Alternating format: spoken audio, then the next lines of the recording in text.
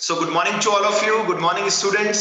Today, day 4th The chapter name is chapter number 8 chapter number eight small business and enterprises और यहाँ हमने last time discussion start किया था funding options कि आखिर जब अगर आप अपना स्टार्टअप करते हैं तो गवर्नमेंट कहाँ कहाँ किस किस तरीके से आपको सपोर्ट कर रही है कि कहाँ कहाँ से आप अपना फंड जनरेट कर सकते हैं फंड्स की जो प्रॉब्लम है, उसको कवर अप कर सकते हैं राइट right? जिसमें पहला ऑप्शन ऑलरेडी हमने डिस्कस कर लिया था इन आवर प्रीवियस क्लास जिसका नाम था self funding self funding means to start business self funding खुद ही आप कहीं से, देखिए self funding is first option on later stage investors may get attracted सबसे पहले तो आप खुद फंड अरेंज करें, खुद फंड अरेंज करें, ठीक है? और उसके बाद लेटर ऑन जब आप मार्केट में आपकी गुडविल बनेगी रेपुटेशन बनेगी तो होगा क्या? कि सर इन्वेस्टर्स भी हमारी ऑर्गेनाइजेशन में पैसा लगाने के लिए इंटरेस्टेड होंगे अट्रैक्टिव होंगे। अदरवाइज़ क्यों पैसा लगाएँगे? सिंपल सी बात। तो ऑप्शंस हैं, हमें केवल दिमाग में फिट करना इन चीज़ों को दैट्स इट सेकंड हमने डिस्कस किया था just wait just wait yes बेटा। यानी कि ऑनर्स फंड थोड़ा सा ब्रॉडर लेवल में आ गया कंपनी के पॉइंट ऑफ़ व्यू से। यहाँ पर कंपनी है नहीं है डजेंट मैटर अगर यहाँ पे आपकी एक छोटी सी ऑर्गेनाइजेशन है तो भी चलेगा। इट्स ओके राइट ठीक है बेटा। कैसा भी लेवल हो सकता है यहाँ पर। सेकंड जो कैटेगरी है वो क्या है students crowd funding as a funding option हमने ये भी पढ़ा था। क्राउड फंडिंग क्या था? वापस से चलिए एक बार फिर से इसको रीड आउट कर लेते हैं जल्दी से शॉर्ट में क्राउड फंडिंग क्या कह रहे हैं crowd funding is one of the near way of funding a startup that has been gaining lot of popularity lately it's like taking a loan pre-order contribution or investment from more than one person at the same time example लू गर्व को एक नया idea दिमाग में आया right गर्व raise your hand बेटा गर्व रेज योर हैंड गर्व के माइंड में एक बहुत अच्छा आइडिया आया कि सर एक बिज़नेस है जो मुझे स्टार्ट करना है, ठीक है? लेकिन है ना, इसके पास इसको कंफ्यूजन हो रहा था कि पैसा कहाँ से लूँगा? तो इसने सेकंड ऑप्शन को फिट किया क्राउड फंडिंग जहाँ इसने जितेश सर से बात की, मेहता सर से बात की मे बी विपिन सर से बात की और सबने क्या किया? मिलकर थोड़ा थोड़ा इन्वेस्ट यानी कि इसने क्राउड फंडिंग यूज़ किया।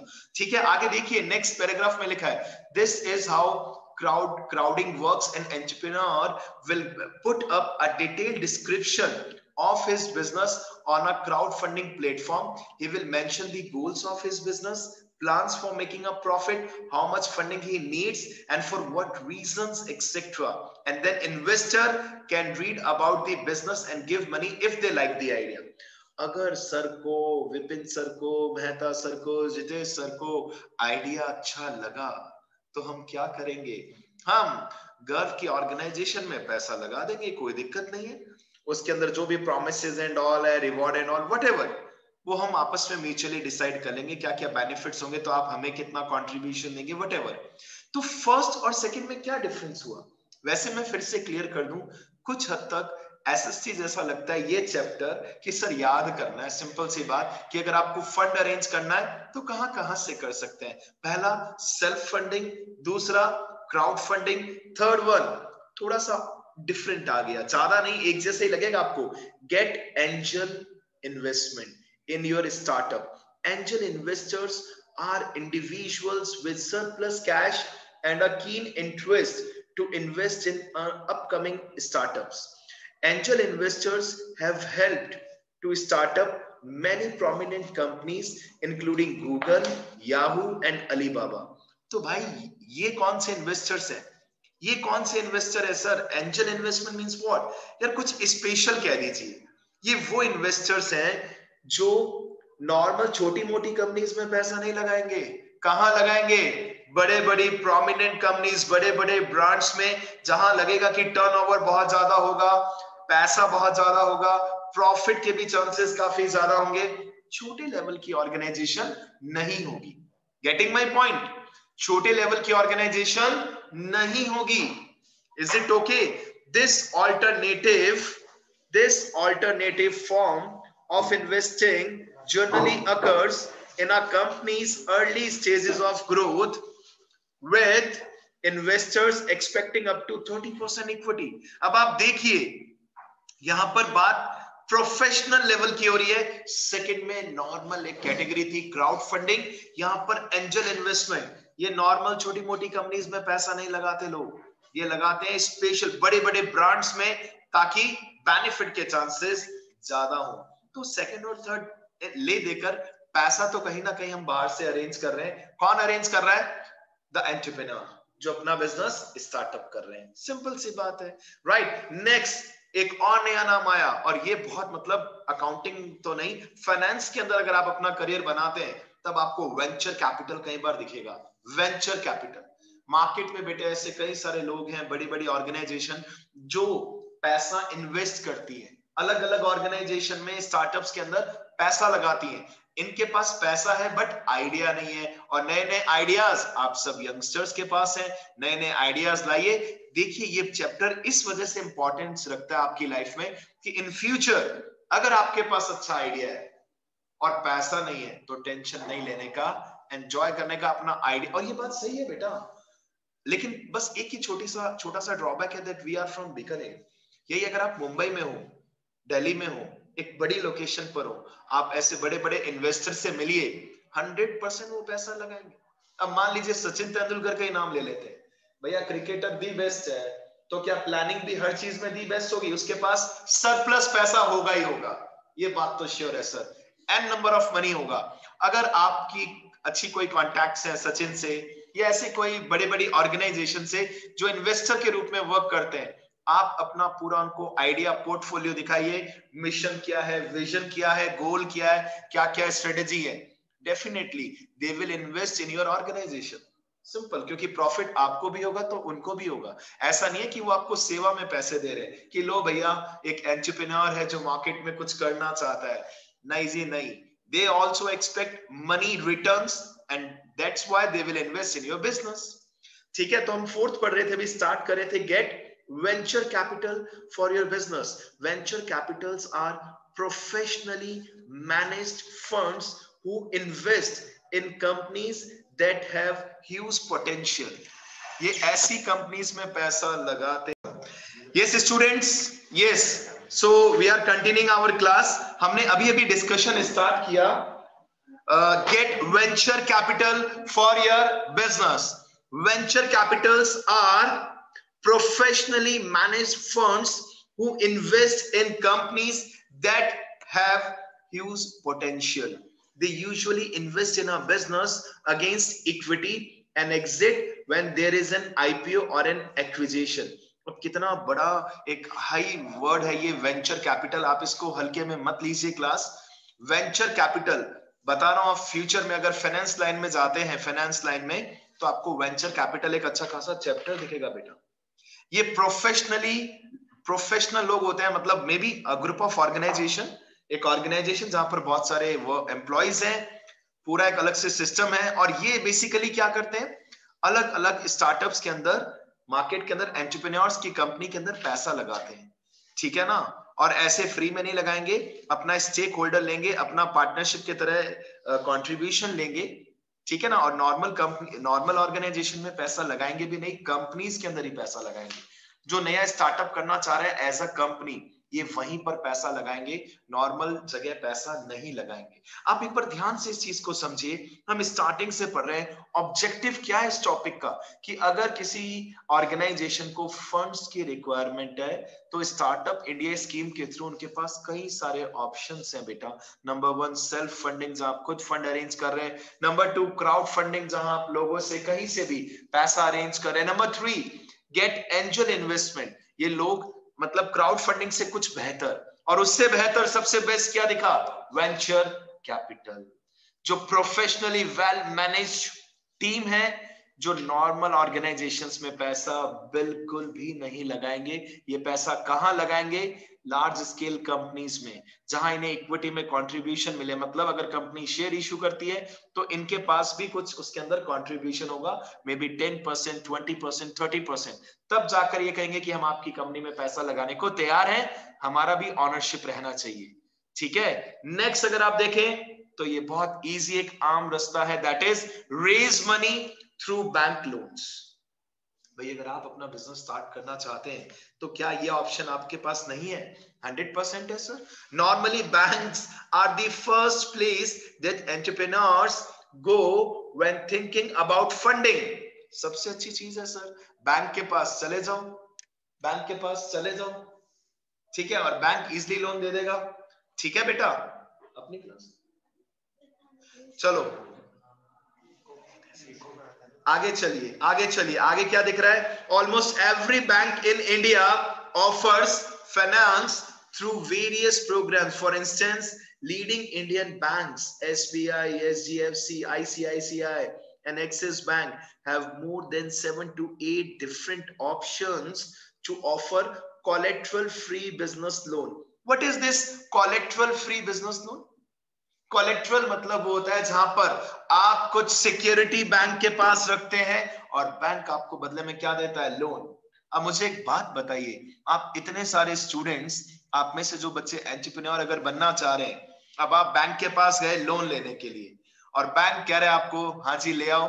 क्या गिरवी रखोगे? आपने कहा, हमारे पास कुछ है नहीं भाई, दिमाग है, दिमाग गिरवी रख नहीं सकते। तो स्टार्टअप इंडिया स्कीम के थ्रू आप लोन अवेल कर सकते हैं बेटा। हंड्रेड परसेंट आपको लोन मिल सकता है। इनफैक्ट कुछ लोग क्या करते हैं, मैं आपको स्पष्ट बता रहा हूँ।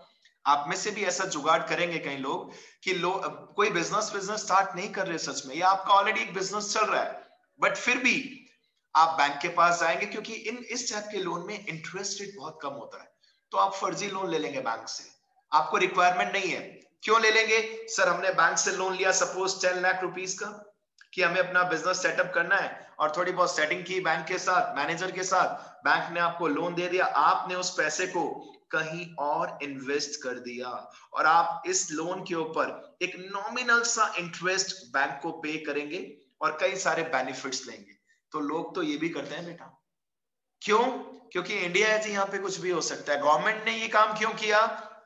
ताकि अपॉर्चुनिटी क्रिएट हो, ज़्यादा से ज़्यादा इंडिया में एंटरप्रेन्योर्स बने कंपटीशन क्रिएट होगा सोशल डेवलपमेंट होगा, नई नई टेक्नोलॉजी यूज़ होगी।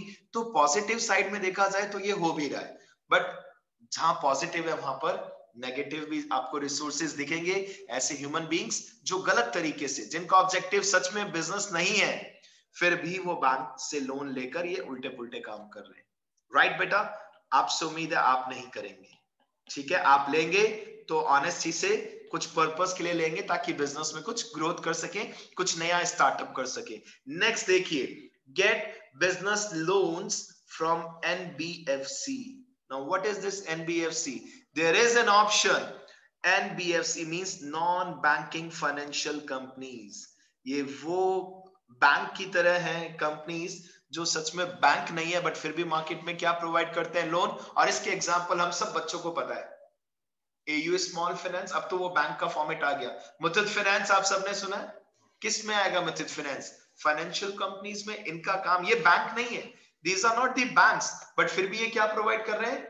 लोन प्रोवाइड कर रहे हैं। सिंपल सी बात। आगे देखिए NBFC provide service to those who would not have been access to conventional banking services यानी कि अगर एक एंटरप्रेन्योर ने, एक बिज़नेस ऑर्गेनाइजेशन ने बैंक से नॉर्मल लोन नहीं लिया, जिससे अभी तक क्या बैंक से लोन मिला नहीं, अब हम खुद प्रोवाइड कर देंगे, कोई टेंशन नहीं है।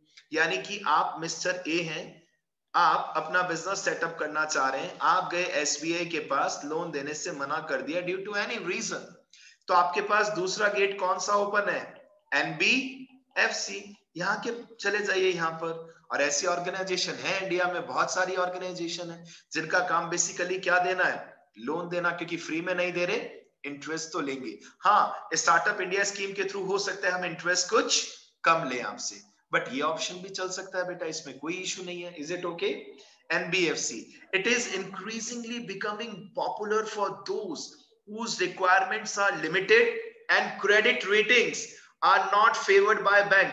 क्या आप में से किसी को पता है क्रेडिट रेटिंग क्या होता है? क्रेडिट रेटिंग बेटा बिज़नेस ऑर्गेनाइजेशन के अंदर credit rating plays a very important role आप सब ह्यूमन बींग्स की लाइफ में भी होगा अपने पेरेंट्स से पूछ सकते हैं। आपकी लाइफ में पता है कौन सा वर्ड यूज़ होता है? अगर आप बिज़नेस फैमिली से अगर आप बिजनेसमैन नहीं हो आप नॉर्मल एम्प्लॉय हो कहीं से भी लोन लेने जाओगे क्या चेक होगा आपका पता है आपको? CIBIL score. What bank will check your CIBIL score, पता कर लेना लाइफ में अपने अपने पेरेंट्स से भी पता कर सकते हो। अगर आपका सिविल स्कोर लेस देन 700 है, सुनना ध्यान से लेस देन 700 आपको कोई भी बैंक लोन नहीं देगा। क्योंकि इट मींस आपकी, आपके ऊपर हम ट्रस्ट नहीं कर सकते। मेरा सिविल स्कोर बताता हूँ आपको, चलो कोई बात नहीं, बच्चे आप हमारे, मेरा सिविल स्कोर 770 है तो मुझे अभी मेरी गाड़ी पे इजिली लोन मिल गया। वो तो ज़्यादा दे रहे थे, हमने कहा, नहीं, हमें ज़्यादा चाहिए नहीं भैया, वापस पे भी तो करना है, नहीं तो डिफॉल्टर हो जाएँगे, फिर सिविल स्कोर खराब हो जाएगा। ये सिविल स्कोर कोई भी फाइनेंशियल इंस्टीट्यूशन है या बैंक है, सबके पास एक सॉफ्टवेयर है इंडिया में, जिसके थ्रू वो आपका पेन नंबर मोबाइल नंबर और दो तीन डिटेल्स डालेंगे और क्लिक करते ही सिविल स्कोर आ जाएगा। ठीक है ना? आपका अभी तक पैन कार्ड भी नहीं है बिकॉज़ आप छोटे बच्चे हैं बेटा। बट आप अपने पेरेंट्स से ये बात कंफर्म कर सकते हैं। क्योंकि सच में बेटा, अगर आपके पेरेंट्स ने एक एग्जांपल ले रहा हूँ सपोज़ एक बच्चा है मिस्टर एक्स इसके पेरेंट्स ने लोन पे नहीं किया। इसके पेरेंट्स ने लोन पे नहीं किया होम लोन लिया था। दस साल पुराना था भले। टेन इयर्स पुराना था। और डिफॉल्टर डिक्लेयर हो गए। सिविल स्कोर बहुत बेकार होगा। Maybe five hundred six hundred ज़िंदगी में कहीं से भी लोन नहीं मिलेगा। कोई भी। हाँ फिर ये हो सकता है कि एनबीएफसी में भी आपको लोन दे दे। बट गारंटी नहीं है।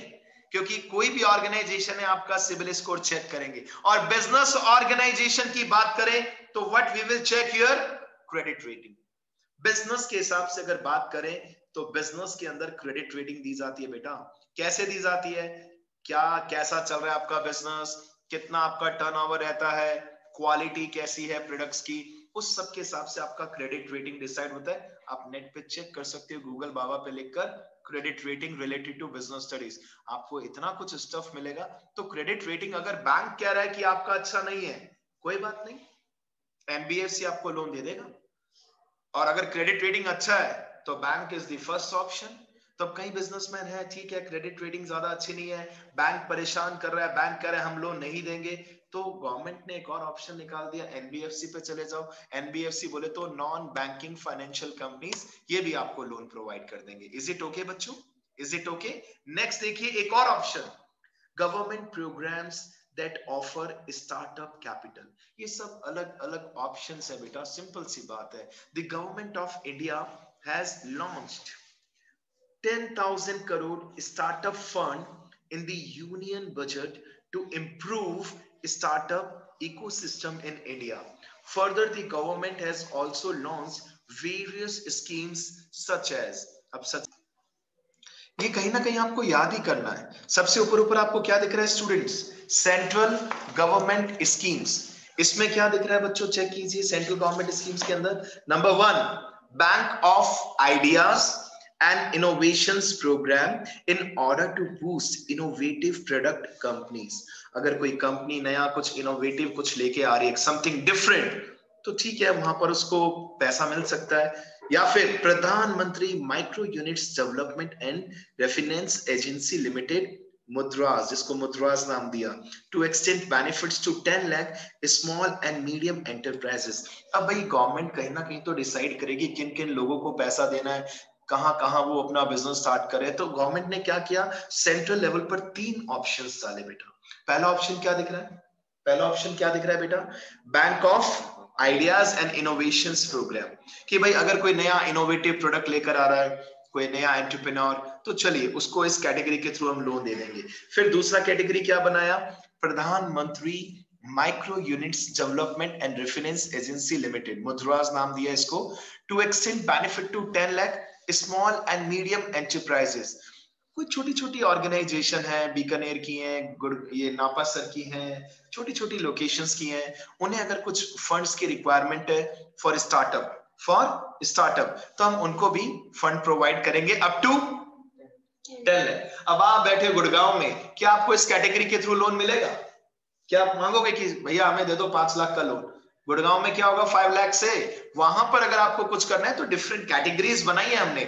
सेंट्रल लेवल की अलग बनाई स्टेट लेवल की अलग बनाई। तो अभी हम डिस्कस कर रहे हैं सेंट्रल गवर्नमेंट स्कीम्स और इन ओवरऑल स्कीम्स के ऊपर कितना पैसा स्पेंड करेगी गवर्नमेंट कितना हमने पढ़ा था पिछले पेज पे ten thousand crore ten thousand crore is it okay तो देखते हैं सेंट्रल गवर्नमेंट की थर्ड स्कीम क्या है? Sir SIDBI what is SIDBI small industries development development bank of India also offer business loans to MSME sector now to be very honest MSME क्या है? मेरे दिमाग में नहीं है अभी. Anybody what is this MSME SIDBI बनाया हमने। सिडबी क्या है SIDBI? Small industries development bank of India ये बैंक्स क्या करेंगे? एमएसएमई सेक्टर के अंदर बिज़नेस लोन प्रोवाइड करेंगे जिन जिन को चाहिए। लेकिन अभी भी कंफ्यूजन एक ही है एमएसएमई क्या है? देखिए उशान बता रहा है जल्दी से। यस बेटा। यस बेटा। Sir micro small medium enterprise yes यही होगा। एम से बोले तो micro small and medium enterprises is it okay लिख सकते हैं अगर आपके पास अपनी बुक है। Thank you Shan very good देखो, ऐसे हम नॉलेज शेयर करेंगे, तभी एज अ टीम वर्क हम कुछ कर पाएँगे बेटा। केवल हंसना या एंजॉय करना ही टीम वर्क नहीं होता। राइट वेरी गुड बेटा। यानी कि जो माइक्रो लेवल की स्मॉल स्केल इंडस्ट्रीज़ हैं या मीडियम एंटरप्राइजेस हैं, उनके लिए भी सिडबी के थ्रू बिज़नेस लोन का अरेंजमेंट हमने कराया। अब ये सेंट्रल लेवल पर सेंट्रल गवर्नमेंट ने डिसाइड किया। कुछ स्कीम्स स्टेट गवर्नमेंट ने भी डिसाइड की, जिसमें नंबर वन आपको क्या दिख रहा है? K S S E D M क्या ये बिज़नेस स्टडीज़ लग रहा है? सर ये एस एस टी जैसा एक चैप्टर लग रहा है, हमें याद करना है। Kerala state self entrepreneur development mission ठीक है जी, केरला के लोगों के लिए बना होगा ये स्पेशली फिर महाराष्ट्र पर्टिकुलर महाराष्ट्र स्टेट ने क्या किया? Maharashtra centre for entrepreneurship development इन्होंने भी अपना कुछ अलग से सिस्टम लॉन्च किया। तो राजस्थान ने कहा, हम भी पीछे नहीं हटेंगे, हमने भी कुछ स्टार्ट कर दिया। Rajasthan startup fest these schemes are setup to boost up small business in India तो इन स्कीम्स का मेन टारगेट क्या था? कि सर, जो छोटे छोटे बिज़नेस हैं माइक्रो लेवल के या मीडियम लेवल की एंटरप्राइजेस हैं, ये मार्केट में आ सके।